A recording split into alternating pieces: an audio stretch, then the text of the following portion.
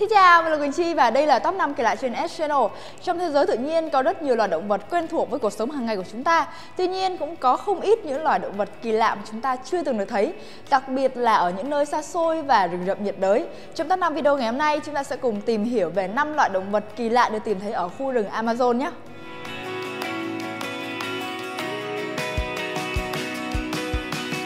Mở đầu cho video ngày hôm nay sẽ là lươn điện.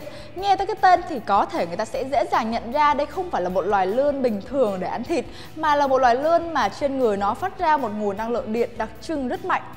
Lươn điện thực chất không hề liên quan tới loài lươn mà thuộc nhóm loài cá trình điện. Cơ thể của chúng có thể phát ra nguồn điện lên tới 650V và có thể đoạt mạng người. Hầu hết các vụ tử vong liên quan đến lươn điện chủ yếu xảy ra do nạn nhân không biết bơi Loài lươn này thường sử dụng vũ khí lợi hại của chúng để giết mồi.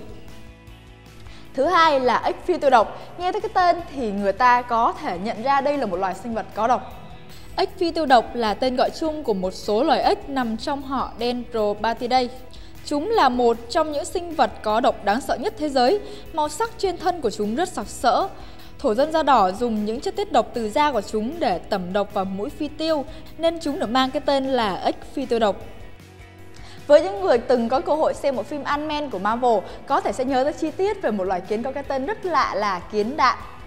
Kiến đạn hay còn gọi là kiến thợ săn khổng lồ là một loài kiến có độc. Chúng sống tại những khu rừng nhiệt đới ở Nicaragua, Honduras cho tới Paraguay. Có thể người ta gọi chúng là kiến đạn vì kích cỡ của chúng tương đương với một viên đạn hoặc do chất độc của chúng tiết ra khi chúng cắn đối thủ.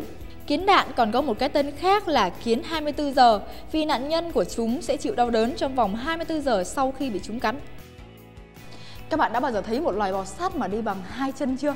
Ở rừng rậm nhiệt đới Amazon có một loài như vậy đấy. Nó có tên là thằn lằn basilic. Thằn lằn basilic có khả năng rất đặc biệt. Chúng chạy bằng hai chân trên mặt nước trong khoảng thời gian khá dài với vận tốc là 8 km/h trước khi bị chìm xuống. Màng giữa các ngón chân giúp cho chúng tăng bề mặt tiếp xúc với mặt nước và tạo túi khí để tăng độ căng của mặt nước. Sau khi đã ngừng khinh công, con vật này buộc phải bơi. Cuối cùng là một loài cá da trơn nước ngọt sống ký sinh ở vùng lưu vực sông Amazon có cái tên là Candiru. Candiru là một loài sinh vật chuyên hút máu và ký sinh trên mang của các loài cá lớn, đặc biệt là cá da trơn của họ Pimelodiae. Người ta còn gọi Caniru là cá bút chì vì thân hình của chúng giống như cái bút chì. Một tên gọi khác nữa của Caniru là cá macaron vì chúng có thể chui vào cơ quan niệu đạo của con người và sống ký sinh ở đó.